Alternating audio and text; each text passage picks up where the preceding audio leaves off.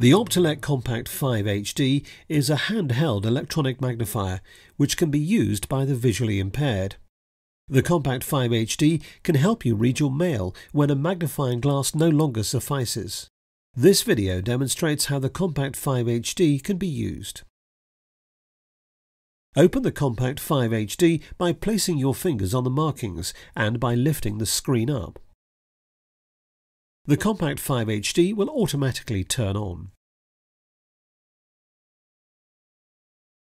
Adjust the magnification by pressing the plus or minus button. Select the desired colour settings by pressing the Mode button. The Compact 5 HD has been designed for ease of use when reading documents. Optelec's patented lighting concept, when in the open position, creates an even image which is not affected by light reflections. You can also use the Compact 5 HD to take photos. Press the photo button to take a picture. You can view the photo you've taken at your convenience. The special menu, which has been optimized for use by the visually impaired, allows you to adjust each setting to meet your needs. The settings are displayed as high contrast icons.